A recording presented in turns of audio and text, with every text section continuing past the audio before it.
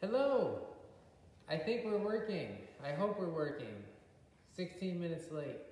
But um, hopefully this is working and hopefully we can be ready to go here. Praise God. You know, I've told you all many times that I hate Facebook, right? That it is so stupid. I think the only thing dumber than Facebook is Andrew Cuomo, right? Anyway, so we will uh, we will keep going. Ah, that guy's an idiot, right? Anyway, yeah, praise God. anyway, praise God. Glad to be here. And guess what? It's Mother's Day. And so we want to wish a happy Mother's Day to all the wonderful moms out there. And I'm sorry that we can't be here together to celebrate with you all, but uh, we trust and we pray that you are having a wonderful Mother's Day and uh, praise God for all of you. I've been very blessed with a wonderful mom and a wonderful mother-in-law now also, and we thank God for good moms. And again, we wish we could be here together, but next week we will be. And that's the announcement, the other announcement I want to make here uh, this morning is that next Sunday, May 17th, so one week from today, we will be here we will be having church together. And uh, regardless of what anyone else is doing, we are going to be here. I think that this is way past time. You know, we thought about starting in the beginning of May. We decided to wait until after their little May 15th date, but we are going to be here next Sunday, Lord willing. We're going to have church. We would love to have you come. And we trust that everyone will take whatever proper precautions they feel necessary. And if that means staying home, then that's fine. If that means coming and sitting in a corner somewhere away from people, that's fine. But, but we do trust that everyone will take the proper precautions that they believe are right for them. And, but we know it is right for us to start to have church. And I really hope and pray that, that all churches start. I think the time to continue to listen to our wicked leaders is ended, for sure. It is definitely ended. I think that what is going on right now, and again, wicked leaders telling churches not to meet, telling businesses not to open, that is un-American, it is unconstitutional, it is unbiblical. We are well within our constitutional rights. We are well within our biblical rights to disregard wicked leadership. And that's what we're going to do regardless of what they say. They have no, no power to stop us from meeting. And I would think, honestly, any Christian at this point who would say that we're called to continue to listen to our government. I would say that is not Christian, that is cowardly. And I don't think we're called to listen to wicked leaders. I know we're not. And that is what we have. I said earlier that the only thing stupider than Facebook is Governor Andrew Cuomo, and it is absolutely uh, true. And so I would love for him to be watching this, honestly. I, I, I wish he would. He won't, of course, but I wish he would. But anyway, we are going to meet, we are going to have church, we're going to stand strong for God's word and the gospel of Jesus Christ. And we're going to pray that many join us in that. Again, the time to stand is now. So this will be the last Sunday that we now, look, we're going to keep streaming, again, as long as Facebook isn't dumb, we're going to keep streaming our services. So if you want to stay home. If you if that's what is right for you, we will still be here to do this for you. And, and, and we plan on doing this forever, Lord willing, now. But starting next Sunday, we will be in church. We will absolutely be in church, and we are excited to be in church together. And again, at this point, I think it is wrong to not be in church. And I would tell any pastor that, I would tell any believer that. Um, again, if you're older, if you're sick, that's one thing. But for the churches to continue to listen to this nonsense, which is unbiblical, it's unscientific, it's going against everything that we're seeing in the data right now.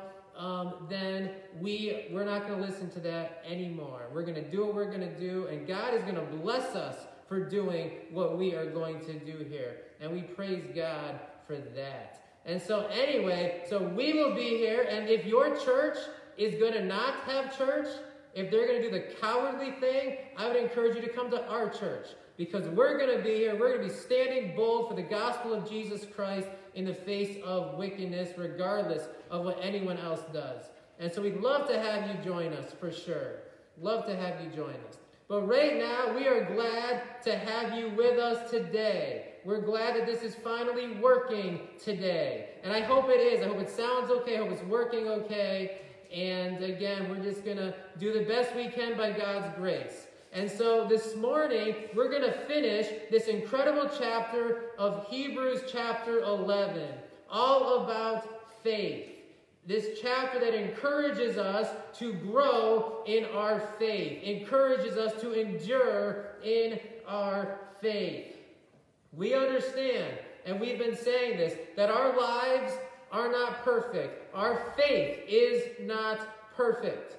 But our Savior and our Lord is absolutely perfect 100% of the time. And so, in His power and in His grace, we move forward. We keep going. And that's what we're going to do by the grace and power of God. And especially in the days in which we're living, we must take God at His word. We must move forward in faith. And we praise God that we can. And so, right now, we're going to read our passage for this morning. So, I would ask you to stand, if you could, for the reading of God's word wherever you are. Hebrews chapter 11, beginning in verse 32. And what shall I more say? For the time would fail me to tell of Gideon, and of Barak, and of Samson, and of Jephthah, of David also, and Samuel, and of the prophets who through faith subdued kingdoms, wrought righteousness, obtained promises, stopped the mouths of lions, quenched the violence of fire, escaped the edge of the sword, out of weakness were made strong, waxed valiant in fight, turned to flight the armies of the aliens. Women received their dead raised to life again, and others were tortured, not accepting deliverance that they might obtain a better resurrection. And others had trial of cruel mockings and scourgings, yea, moreover of bonds and imprisonment. They were stoned, they were sawn asunder, were tempted, were slain with the sword. They wandered about in sheepskins and goatskins, being destitute, afflicted, tormented, of whom the world was not worthy. They wandered in deserts and in mountains and in dens and caves of the earth. And these all, having obtained a good report through faith, received not the promise. God having provided some better thing for us, that they without us should not be made perfect.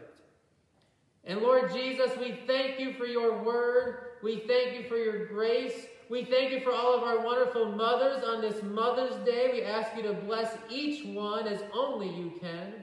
And we ask you to empower us now. Empower me to preach the word. Empower all of us to receive the word. Bless this time. Be glorified by this time and change us through this time. And so we thank you, Lord. And of course, we pray all this now in Jesus' name. Amen. All right. Well, praise God. And again, glad to be here as we finish up Hebrews chapter 11. The just shall live by faith. We understand that. The just shall live by faith. And that's really what Hebrews 11 is all about. And that's what we want to be all about in our lives here at Lord the Harvest Church and in the days that we're living in. We need to live by faith. We've seen a lot in these first 31 verses over the past three weeks. And now, verse 32, the writer says, And what shall I more say? Because there's so much else he could say. There's so much else he would want to say. There's so many others that he could get into and talk about who'd show incredible faith. And he mentions just a few here in verse 32. And this list is by no means exhaustive, as we know. But he says the time would fail him to talk of Gideon and of Barak and of Samson and Jephthah, of David and Samuel and the prophets, men of faith, and yet flawed men. And I think that's one of the things that the writer's trying to get us to realize. Remember back in verse 31, who is in the great hall of faith? The harlot Rahab. The harlot Rahab. And that's where we where we left off last week. We talked about her. The fact that the harlot Rahab is in the hall of faith in the line of Christ.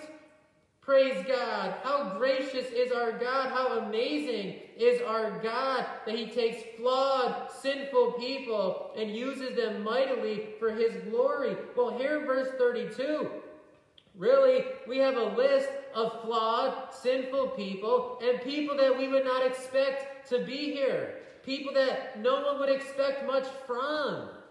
But that's who our God is. He takes those that no one else expects much from, takes those that are flawed and sinful, and he uses them mightily for his glory. You think of a guy like Gideon. Gideon was the least in his family, and his family was poor in his tribe. He came from a lowly family, and he was the lowliest of that family. He was a coward. And yet God used him mightily. God used him mightily. Barak, he wasn't exactly the picture of valor and courage. He would not go to fight the Canaanites unless Deborah went with him. And yet here he is in the hall of faith. Samson. Samson was a selfish, immature, lustful man. And yet here he is in the hall of faith. God still used him mightily. Praise God. Jephthah. Jephthah was the son of a harlot, cast out of his family by his brethren. Later in life, he made a tragic vow that greatly affected his daughter. And yet God used him mightily to defeat the Ammonites. Here he is in the hall of faith. How about David? Yes, David, the great king of Israel, right? Praise God. We all love David, and rightfully so. David was the youngest of eight sons. And when you read what First Samuel says, it's pretty evident his family did not really think much of him. No one really thought he would amount to all that much. The youngest of eight sons. A great sinner, by the way, as we know. A man full of lust.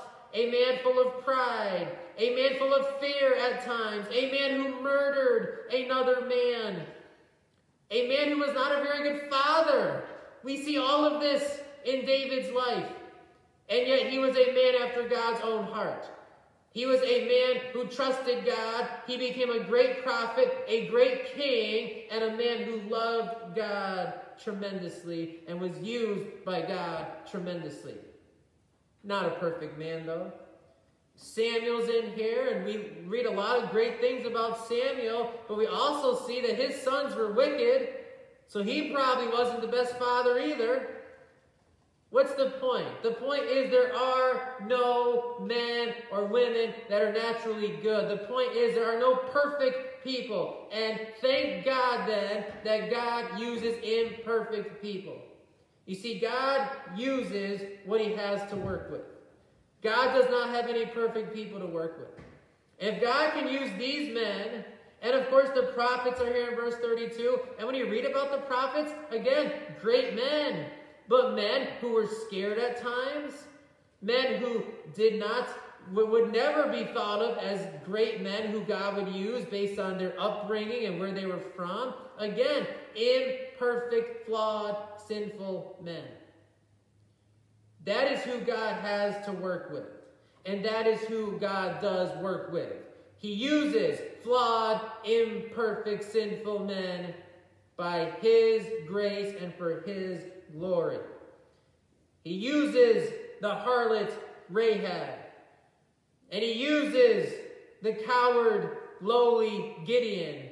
And He uses sinful David and selfish, immature Samson, and he uses you and me as well. And praise God that he does. Praise God that he does. And he does this by his grace through the faith that we have and that he allows us to have.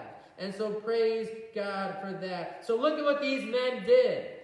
Look at what they did. Verse 33. Who through faith, again, all of this, everything in this chapter, through faith. By faith by the power of God through the faith of man, who through faith subdued kingdoms. They subdued kingdoms, and they did. Men like David, men like these different judges, men like Joshua, they did that. They subdued kingdoms, they defeated kingdoms, they conquered enemies. Praise God. They wrought righteousness or brought righteousness. That's what the prophets did. They spoke the word of God. That's what the judges did. That's what these good kings did. Not all the kings were good, many were not, but the good ones, they brought righteousness to the kingdom. We're called to do the same thing today. We're called to bring righteousness to where we are. We're called to speak the truth. And by the grace and power of God, we can. So they subdued kingdoms. They brought righteousness. They obtained promises. They obtained promises. And we're going to see here a little bit later, they did not obtain in their life the ultimate promise of Jesus. We can look back on Christ, praise God. They had to look forward to Christ. It was harder for them than it is for us, a lot harder for them. But they did obtain promises, just as we have obtained promises. Praise God. They stopped the mouths of lions. And I'm sure right off the top of your head, you think of Daniel there, right? Praise God for good old Daniel. In Daniel chapter 6, thrown into the lion's den, and the lion's mouths were stopped miraculously. But what about David? He talks about how he defeated the lion in 1 Samuel 17. What about Samson, who killed the lion in Judges 14? It's, it's pretty hard to kill a lion with your bare hands. And that's what these men were able to do, defeat lions. In Daniel's case, God miraculously stopping the mouths of lions. Praise God. So, all these great things that happened through faith, all these great things these men did through faith, through the power of God's grace, and through the faith God had given them. Praise God. We, by the grace of God, moving forward in faith, will do great things as well. We will. And we talked about this, I think, last time, maybe the time before, that many of the things we do in faith are not the so called great things, they're the little things. But remember, great things are only a series of little things. Nothing great ever happens without a series of small things happening first. Great things are made up of small things. Praise God for that. So we move forward in faith. We move forward in faith. Look at verse 34. Quench the violence of fire. We think of Shadrach, Meshach, and Abednego, right? Daniel's three friends there in Daniel chapter 3 who refused to bow to Nebuchadnezzar's image. And God spared them in that fire. Again, how appropriate is that for us today? As we were just saying earlier, we as believers need to refuse to bow to the wicked image of our leaders when they're trying to make us not have church and make us not do things that we're supposed to do. We know this has nothing to do with science. It has nothing to do with health. Has nothing to do with concern for people. It's wickedness. We know that. And how do we know that? Because liquor stores and abortion clinics are considered essential, and yet churches and small businesses are not. That's how we know this is wicked. Our governor does not care for the people of this state any more than Nebuchadnezzar would care for them before his salvation. He cares about his own wicked communist agenda, just like the entire Democratic Party today. And we're going to stand against that, and we're going to stand for God's word in faith. And we're going to have church, and we're going to move forward and see how God blesses us, praise God. And so we're going to keep going in faith. We will quench the violence of the fire. We will be blessed as we stand on God's word.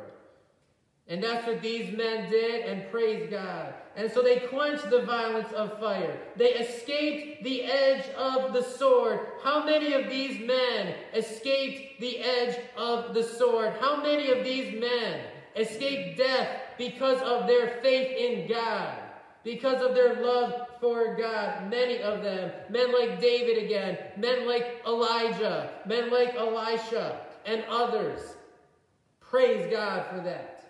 Praise God for that. So they quenched the violence of fire. They escaped the edge of the sword. Out of weakness were made strong. Out of weakness were made strong.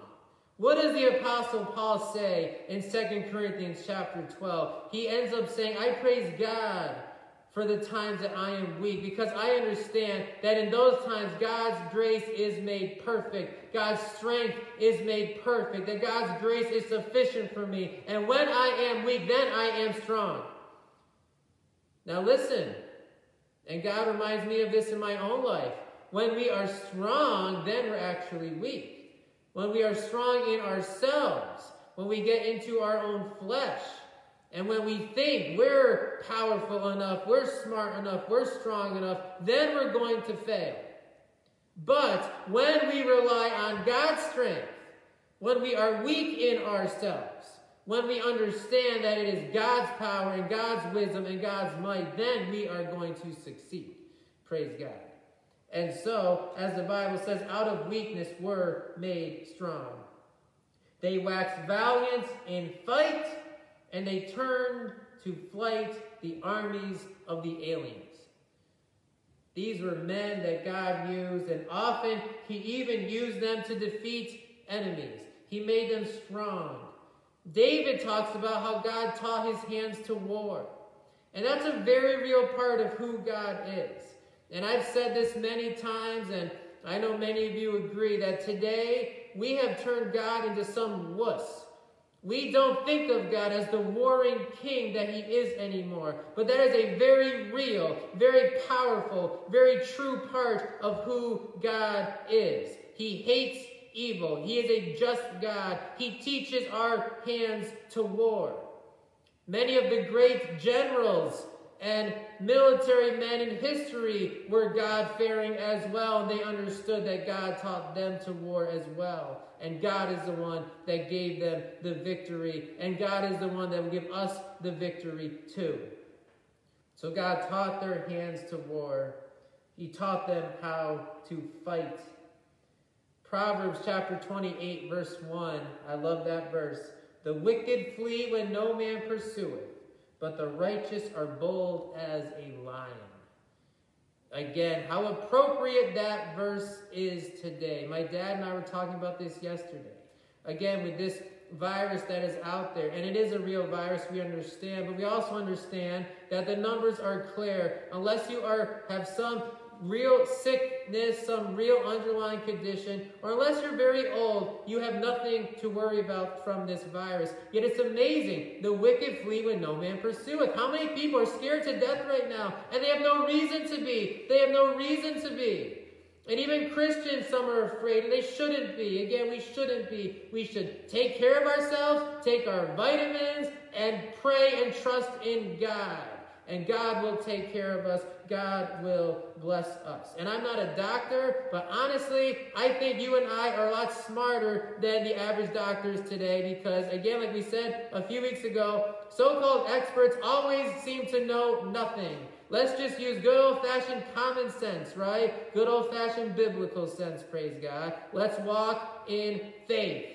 Let's walk in faith, not in fear, but in faith, praise God. And so God will teach us to war. God will help us to be strong. Again, the wicked flee when no man pursue, but the righteous are as bold as a lion. And we're going to be bold in these days in which we're living. And we need to boldly, yet graciously, but boldly stand for the gospel of Jesus Christ, for the truth of God's word.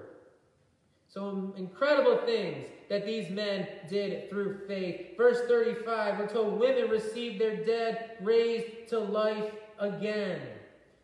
And if you read in the Old Testament, you see that God used the prophet Elijah to do this. God used the prophet Elisha to do this. Great things that God did. Great things that God did through these men.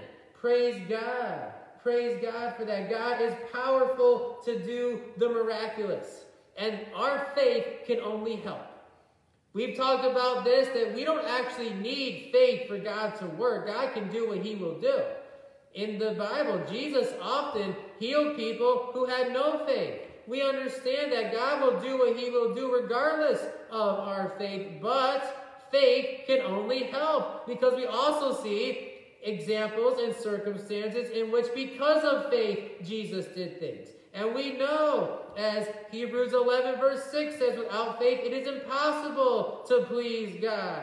But if we do believe in Him, if we diligently seek Him, He will diligently reward us. And so, certainly, the greater our faith, the greater God will likely work in our life. And we praise God for that. So, between verse 33 and the beginning of verse 35, all these incredible things that men did through faith. Praise God for the power of God. Praise God for all the wonderful things He does when His people believe in Him. But then look at how it changes. In the middle of verse 35, we read, And others were tortured. Others were tortured.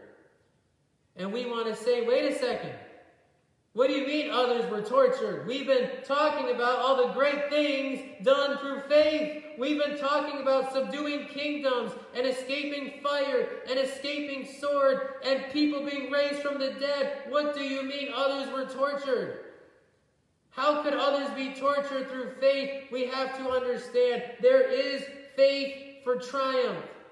And in our faith, we will often triumph over the enemies in this world. But there is also faith for trials.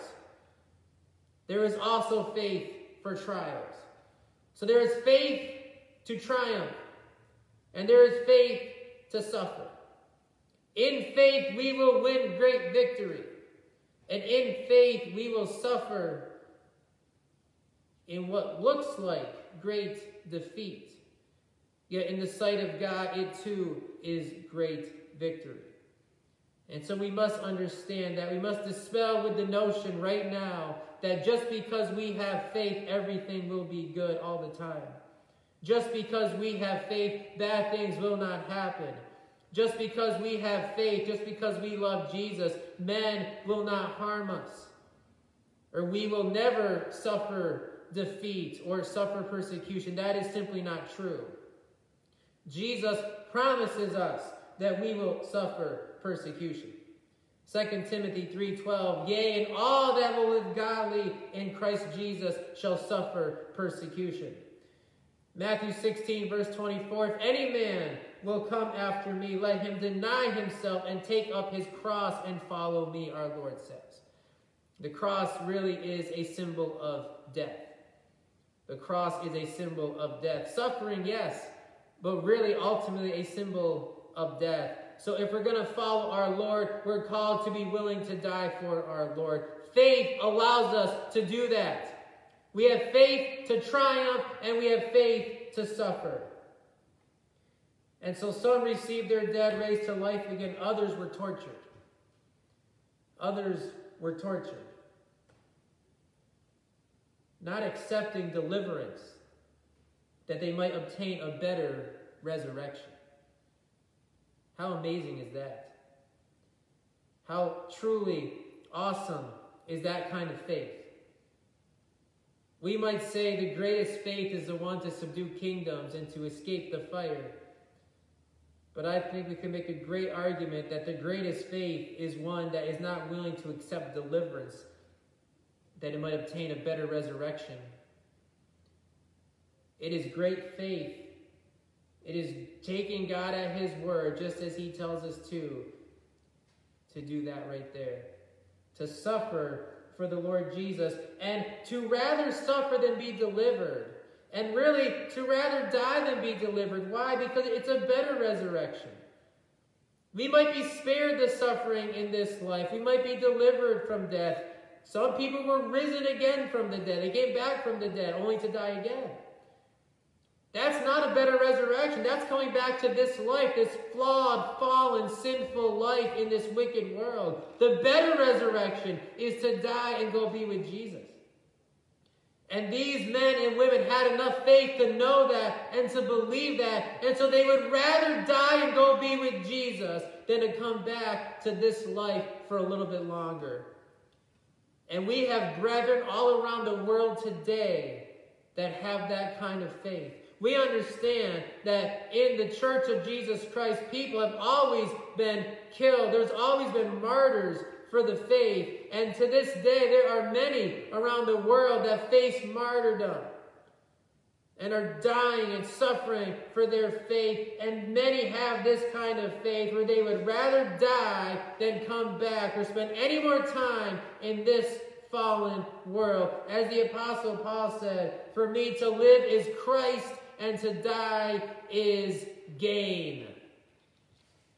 The Apostle Paul would rather go and be with Christ than to stay in this world.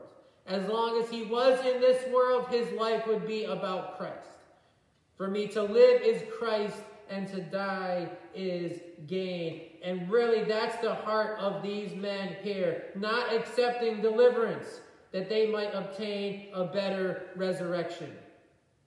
That they might obtain a better resurrection. Verse 36 And others had trial of cruel mockings and scourgings, yea, moreover, of bonds and imprisonment. Again, many have suffered. Many still suffer today for their faith in Jesus Christ. Faith to triumph and faith to suffer. Verse 37 They were stoned they were sawn asunder or sawn in half. Can you imagine being sawn in half? And yet tradition tells us that's what happened to the prophet Isaiah under the hands of the wicked king Manasseh. Tradition tells us that Isaiah was martyred by being sawn in two. The same Isaiah who in chapter 6, verse 8 of the book that bears his name, said to the Lord, Here I am, send me. Here I am, send me. That's the kind of faith Isaiah had. That's the kind of heart Isaiah had. That's the kind of passion Isaiah had.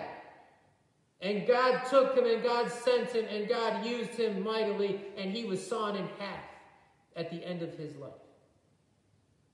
And yet, even now, he's enjoying a better resurrection. Praise God for men like Isaiah. Praise God for the faith they had. So, men were stoned, men were sawn in half, and he's not the only man or woman or child to be murdered in a cruel and brutal way in this world for their faith in Jesus. To this day, some are suffering in horrible, horrible ways. We're told in the middle of verse 37 they were tempted, tested, or tempted. And look, temptation can be a great trial. There are tests that come our way that are great trials. It takes faith to get through them. It certainly takes faith to get through them. So they were stoned, they were sawn asunder, they were tempted, slain with the sword. Again, many, many have been martyred. Many have been persecuted for the cause of the gospel of Jesus Christ. They wandered about in sheepskins and goatskins, being destitute, afflicted, tormented. And then verse 38 says, They wandered in deserts and in mountains and in dens and caves of the earth. And isn't it true that the Christian life is often one of wandering?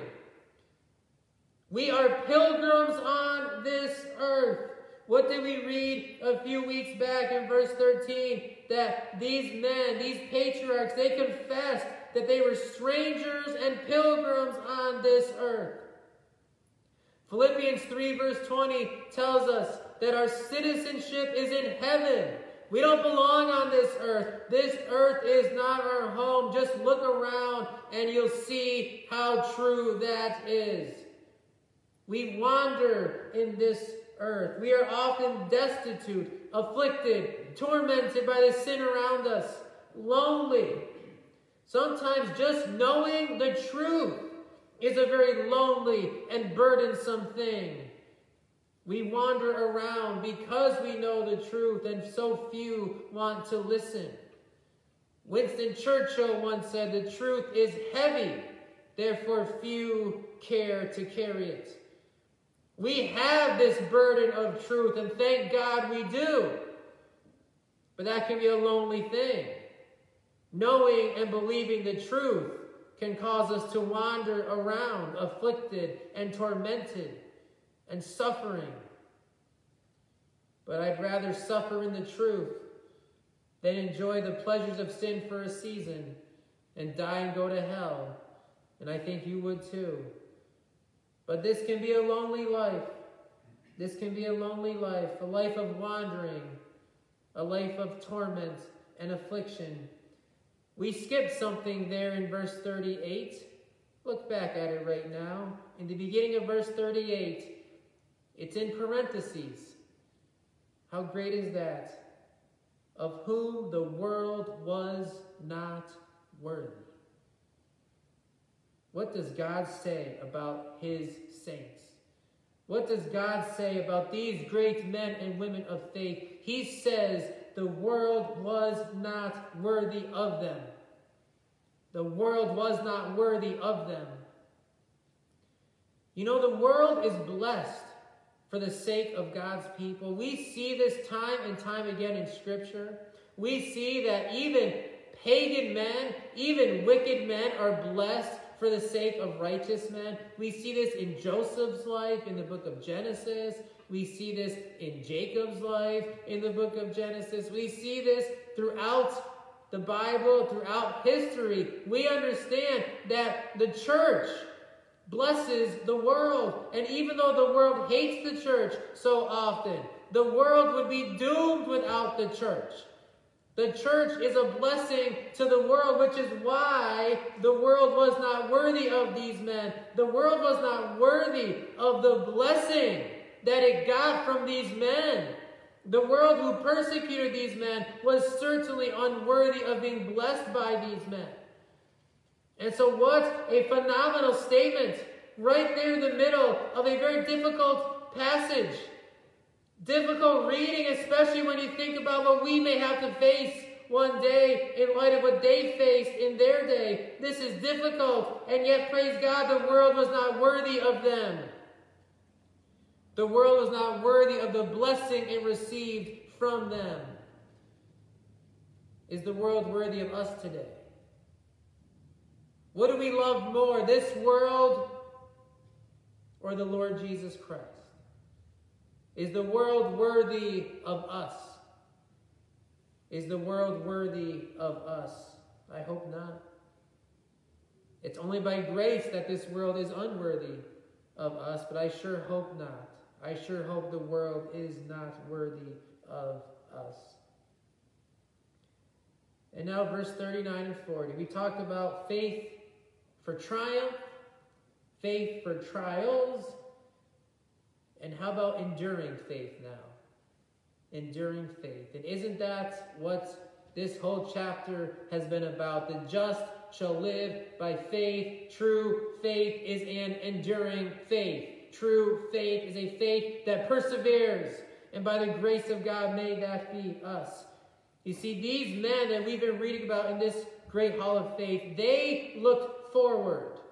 We look back. All must endure. All must endure. So let's see what we're talking about here. Verse 39. And these all, having obtained a good report through faith. Let me just stop right there. What a blessing that is. Even the fact that that can be true. And we saw that back in verse 2. The elders obtained a good report, we're told, through faith. Now we're told these men obtained a good report through faith. So sometimes that good report leads to triumph. Sometimes that good report leads to trials. It always pleases God. And how wonderful to know that we can please our God. That God can look down on us and be pleased with our lives and pleased with our faith, however imperfect it is, however flawed it is. Again, all of these men had flawed, imperfect faith. They all lived flawed, imperfect lives, yet they obtained a good report through faith. And part of faith is believing what God says about His grace. Part of faith is believing what God says about His mercy and believing that even when we struggle and even when we flaw and even when our flesh gets the best of us, that we are forgiven and we are children of the King and we are saints and the beloved of the Lord and that we will win in the end. And so in the meantime, we're going to keep going now. That's a big part of faith. Taking God at His word about our salvation, about His grace, and about His mercy. Praise God. So these are having obtained a good report through faith. Through faith. Received not the promise. Received not the promise. Oh, they obtained promises. Verse 33 said, In faith they obtained promises. They obtained many promises, just as we obtained promises as well. But they did not receive the promise of Jesus. They did not live to see Jesus come. They did not live to see Christ. So, in that sense, they did not receive the promise. Now, they were saved by Jesus, they were saved by his grace through their faith, but they did not actually live to see Jesus come. They received not the promise, the greatest promise. Think of Simeon in Luke chapter 2. Maybe you recall the story of Simeon, this godly man, evidently an older man, who the Lord had revealed to him that he would live to see Jesus. And when Mary and Joseph took Jesus into the temple there in Luke chapter 2, Simeon got to behold him and hold him in his arms. And he was so grateful and he thanked God and he said, Now I can die in peace, having beheld my Savior. What an incredible blessing. It gives me chills to even think about how that man felt. He did get to see the promise in part, but many of these saints, all of these saints here in Hebrews 11 did not live to see the promise. They did not obtain or receive the promise of Jesus coming. We have received that promise. We have received that promise. Look at verse 40. God having provided some better thing for us, that they without us should not be made perfect. We need to understand there are many advantages to being a New Testament saint as opposed to an Old Testament saint.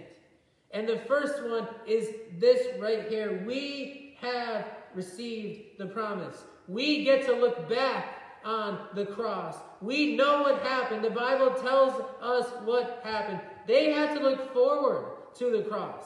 They got little bits and pieces and little glimpses in their Bible about what it would be like. But we have the whole picture now. We look back on Jesus. We look back on Jesus. What an advantage it is for us. Another great advantage, we have the Holy Spirit permanently indwelling us permanently indwelling us. They did not have that. The Holy Spirit could come and go as he pleased in the Old Testament. We see him doing just that. That's why David had to pray in Psalm 51 Lord, take not thy Holy Spirit from me. Because he could. Now, no believer need pray that prayer because we permanently have the indwelling of the Holy Spirit. What a great advantage! And another great advantage, we have the entire completed Word of God. The entire and completed Word of God is ours. And so when we're all in heaven together one day with these great saints, they're not going to look at us and pity us. They're not going to be impressed by how hard we had it. We're all going to be impressed by Jesus, first of all. But if we could look back on this life, and I don't know how that's all going to work, but they would not be overly impressed with our faith. We should be impressed with their faith. The fact that without the advantages we have today, they were men and women of faith. They persevered to the end. They had faith to triumph and they had faith to suffer. Let us never forget that God has provided a better thing for us, that they without us should not be made. One day we will all be perfected together in heaven as the children of God. There will be no more sin. There will be no more suffering. There will be no more communist or socialist. There will be no more wickedness. There will be no more of this stuff. There will be Jesus Christ. There will be God the Father, God the Son, and God the Holy Spirit. There will be the holy angels, and there will be us as the people of God. And what a glorious day that will be. What a glorious day that will be. What a perfect day that will be. When our faith is perfect, our faith is complete. When we are glorified with our Lord. What a glorious, glorious day. So praise God for faith. Praise God for the faith to triumph. Praise God for the faith to suffer. Praise God for faith. Praise God that we look back on Jesus. Praise God that we are permanently indwelt by the Holy Spirit. Praise God we have the finished Word of God. And as we close this morning, let's look at the first three verses of Hebrews chapter 12. We said that this great hall of faith really begins at the end of Hebrews 10 and it really ends at the beginning of Hebrews 12. So let us close in that way now. So Hebrews 12, verse 1. Therefore, seeing we also are compassed about with so great a cloud of witnesses, seeing that these are the men and women who came before us, they are witnesses, not spectators. They're not looking down on us, but they are inspirations to us. This is a cloud of faithful witnesses that should inspire our lives, that should motivate our faith. So, see, we have this great cloud of witnesses. Let us lay aside every weight, and weight could be good or bad. There are sinful weights we carry, there are just the normal weights of life that we carry sometimes. Let us lay those aside. Let us cast our care upon the Lord. Let us cast those weights upon the Lord. Let us lay aside every weight and the sin which doth so easily beset us. We all have sin. We all have sin. We all have besetting sins. We all have things that we struggle with more than maybe others struggle with. We all have them. So don't think you're the only one. We all have besetting sin. We all struggle with sin. We're called, in light of this great cloud of witnesses, in light of all the great men and women that have gone before us, we are called to lay aside our sin, to lay aside the weight, and to run with patience the race that is set before us.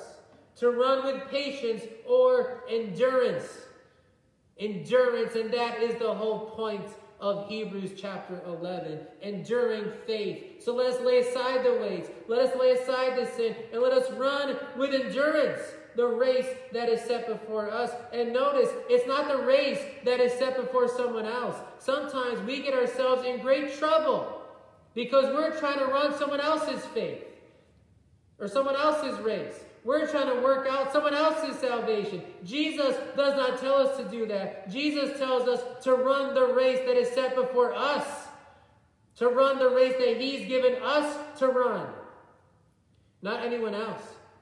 So let us lay aside our sin, not anyone else's sin. Let us lay aside our weights, not anyone else's weights. And let us run with patience our race, not anyone else's race. Let us run with patience our race. An interesting point about that word race is the Greek word agone, which you may have guessed, we get our English word agony. So, really, what the Bible is telling us, what our Lord is literally telling us here, is that let us lay aside the weights and lay aside the sin and run with endurance the agony that is set before us. Let us run with endurance the agony that is set before us. Because it will be agonizing sometimes. It will be difficult sometimes. There is faith that leads to trials sometimes, as we have seen. This Christian life is an agonizing life some of the time. It's also a wonderful, joyful, peaceful, incredible life. It's eternal life, but on this earth it will be agonizing at times. And if it's not agonizing at times, then you're probably not a child of the King. But this Christian life will be agony sometimes, but we're called to run it with patience. We're called to run it with endurance, to run the agony that is set before us. How do we do this? We don't just look and find inspiration from the great saints that went before us, but we look and find inspiration from our Lord and Savior Jesus Christ.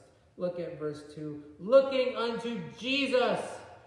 And that is always the answer to everything. 100% of the time, that is always the solution to the problem we're having. Look to Jesus.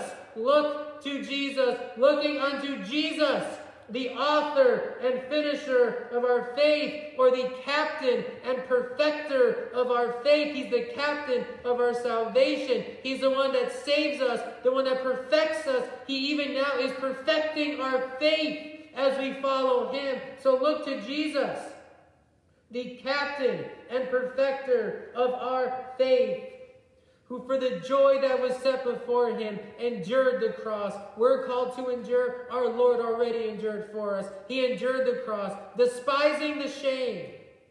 And that means he fought against it, or again, he endured it. So he endured the cross, he endured the shame. And he is now set down at the right hand of the throne of God. Praise God, and he deserves to be there.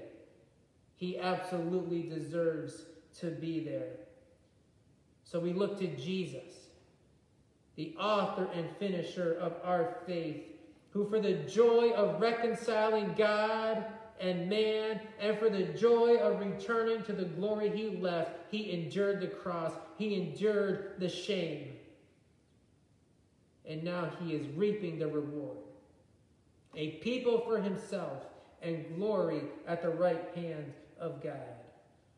For consider him, verse 3 now tells us, for consider him, think on him, contemplate him, think about all he went through for us. Consider him that endured such contradiction of sinners against himself,